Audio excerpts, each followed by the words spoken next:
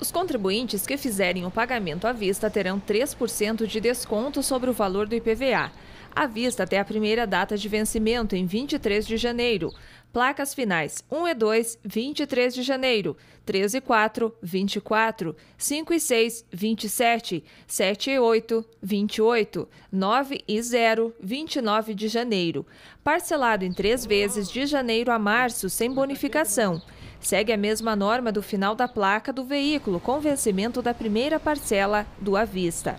A partir deste ano, a Secretaria da Fazenda do Paraná não vai mais enviar o boleto impresso para o pagamento do imposto.